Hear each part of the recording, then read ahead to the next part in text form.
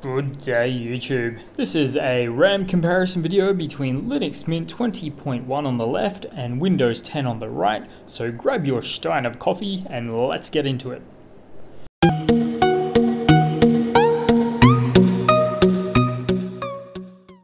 Okay, so starting off, as mentioned there, we've got Linux Mint 20.1 on the left, latest release, and uh, Windows 10 on the right, arguably still latest release for its own edition there as well.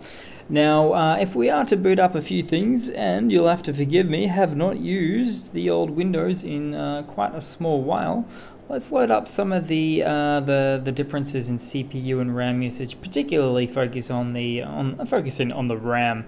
Now the CPU, of which both idling out quite quite nicely, so nice to see there. But on the right hand side for the uh, the RAM, now this is all booted up from scratch, so nothing's really booted in, uh, in the background apart for the operating system itself, of course.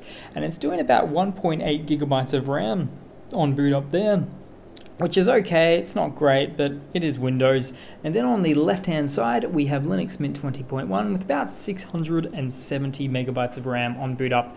Again, nothing in the background, just really the, purely the operating system itself. But this video just gives you a bit of a feel for the, the baseline uh, RAM uh, usage, a bit of a comparison in that way, just to see what you're working with and uh, if your hardware can support either of these successfully, one or the other, or even both. So thanks for watching please leave a comment, subscribe, hit that like button, and I do hope to see you guys there in the next one.